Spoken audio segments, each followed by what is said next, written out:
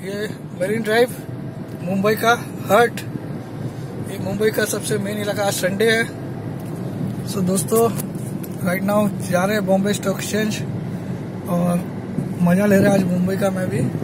बहुत कम टाइम मिलता है मुझे ऐसा। आजकल मुंबई की सेमिनार में मैं रोज आठ बजे तक तो खत्म होती है तो नौ बजे मेरी ट्रेन रहती है तो टाइम नहीं रहता है। आज जल्दी खत्म किया था साढ़े पाँच छः बजे खत्म हो गई थी।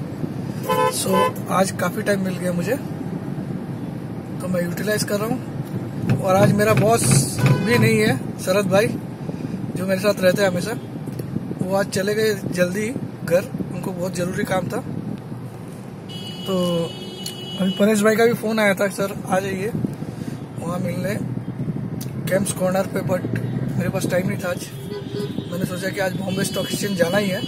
और देखिए लकीली देखिए दोस्तों, अंबानी साहब के घर के यहीं से गुजर रहा था पेडल रोड से, उसके बाद आते ही आगे मैं जा रहा था बॉम्बे स्टॉक एक्सचेंज। पहले सेंट्रल के लिए गाड़ी बुक किया, फिर दिमाग में आके चले बॉम्बे स्टॉक एक्सचेंज भी चलते हुए टाइम बहुत है ट्रेन को। तो यहाँ से गाड़ी घुमाए पेडर रोड की तरफ़। पेडर रोड से अंबानी साहब का घर देखा, लता मंगेशकर का वो देख के। कल भी आया था मैं उधर ही कल भी पेडर रोड पे था। तो आज अंबानी साहब के घर क्रॉस करने के बाद बाबुलनाथ टेंपल पे देखा तो ये अंबानी साहब खुद ही खड़े थे, वहाँ दर्शन कर रहे थे। उनका बेटा और वो। तो ये ड्राइवर साहब ने बताया, ये ये खुद भी एनडीटीवी में काम कर चुके हैं। तो आज ये चौपाटी का व्यू देखिए।